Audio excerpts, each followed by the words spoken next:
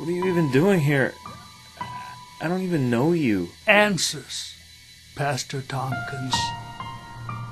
I want answers.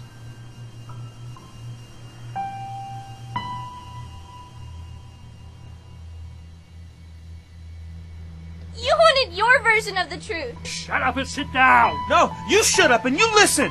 So everything that happened was my fault? Was what happened next my fault too? I need to go. My, my family's in trouble. I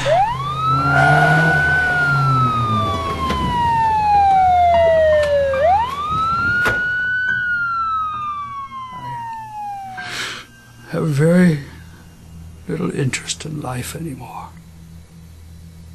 My only hope is that you have enough interest for both of us.